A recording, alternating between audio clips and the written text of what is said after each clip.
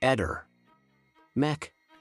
Pallister. Nuovi sviluppi nel caso riguardante l'omicidio della 78enne Pierina Paganelli. Emerge un elemento cruciale. La presenza di DNA maschile su sette reperti è in quantità estremamente ridotta. Davide Barzan, noto criminalista e consulente di parte di Manuela Bianchi, nuora della vittima, ha sottolineato che la scarsità del DNA rinvenuto potrebbe complicare ulteriormente il processo di sequenziamento rendendo difficile una comparazione con il profilo genetico di Luis da Silva, l'unico indagato nel caso.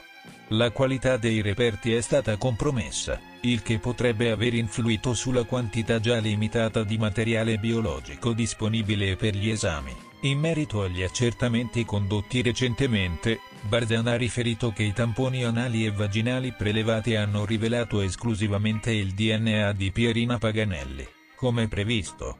Poiché non ci sono stati segni di violenza sessuale, le autorità hanno recentemente effettuato un sopralluogo sul luogo del delitto per cercare di ricostruire gli eventi che potrebbero aver avuto luogo nella notte dell'omicidio. Questo è stato fatto per chiarire i tempi e i percorsi seguiti dal presunto assassino della donna permettendo così agli investigatori di rafforzare la cosiddetta prova regina che ha portato all'arresto di Da Silva, un 34enne senegalese che viveva nelle vicinanze della vittima. Barzan ha spiegato che l'arresto di Da Silva è avvenuto in seguito alla visualizzazione di un video di sorveglianza di una farmacia, in cui è stata ripresa una persona di origine non caucasica che rientrava in via del Ciclamino con un oggetto in mano. Per cristallizzare questa ricostruzione, gli investigatori hanno coinvolto un individuo di origini senegalesi per comparare i tratti fisici e il comportamento con quello dell'indagato. Un aspetto chiave emerso dalle indagini è una perizia che suggerirebbe un movimento caratteristico di Da Silva,